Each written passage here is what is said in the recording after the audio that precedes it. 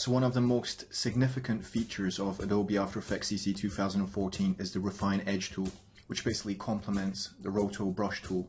So I've got this piece of footage here, and we're going to attempt to isolate uh, this woman from the background. And it's a difficult shot for a number of reasons because we have uh, lots of hair and we have some smoke as well which I want to include in the final matte. So I'm going to go to frame 0 and I'm going to go to the Roto brush tool. Now before you use the refine edge tool you basically have to do all the Roto brush work first. So I'm going to double click and we get this uh, green circle with a plus and I'm just going to add these sections here. As you can see, um, this is a roto brush timeline. So you want to drag this all the way to the end of the animation because if it's halfway, it's not going to calculate beyond this point. So you want to drag this all the way to the end of your animation.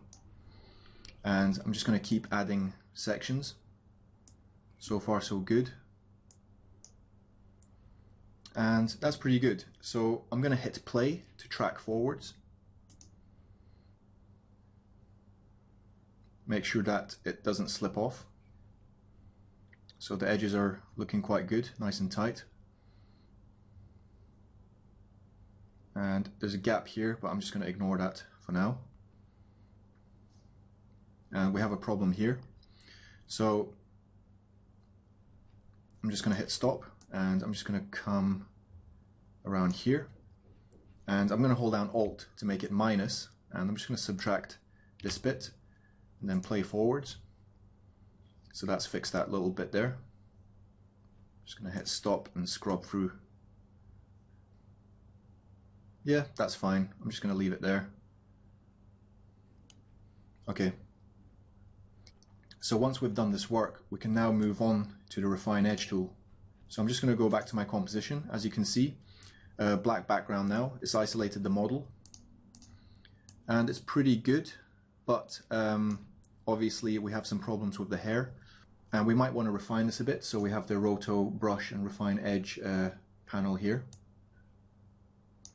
So we can add some more feathering, just smooth those edges. Um, play with the contrast, reduce chatter, and it's a pretty good result considering it's completely automatic, except for this bit here. So we basically want to bring in some of this hair now. So I'm just going to select my Refine Edge tool, double click. Now we get this purple circle with a plus.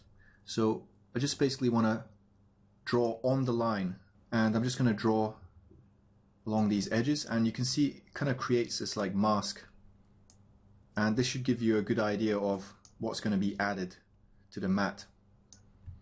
Now, I've already made a mistake. My time marker was at 40 frames, and before you start any kind of refine edge work, you want to go back to your base frame. So I'm going to go back to frame zero, and I'm just going to do this again. I'm going to add in these strands of hairs. And even we can add in some hairs along the arm here. And now I'm just going to hit play. As you can see, it's literally uh, sticking to the line. It's actually included some of the smoke here. So I'm just going to stop it here and I'm going to come to this frame here. I'm just going to add a few more bits, mainly the smoke. Hit play. Add in some of this. I'm just going to add in this segment here. Play forwards and that captures the smoke quite nicely. Okay, so I'm just going to go back to my composition and as you can see we've managed to capture the smoke. I mean this looks, this is amazing. I mean for me this is a game changer. Look at the detail on the hair. It just looks so natural. It looks almost as if it was actually filmed against a black background. I mean it's just amazing. The smoke, trying to achieve this result with normal green screen keying tools would just be, it would be very difficult. Obviously we can add some motion blur to this, so where the hand's moving I can add use motion blur. We can increase it by increasing the shutter angle, so about here. Decontaminate edge colors, and we can fine tune the matte, but this result is very good considering we used just a couple of brush strokes. So in part two I'm going to fine tune this matte. Uh, if you found this useful please share it and thanks for watching.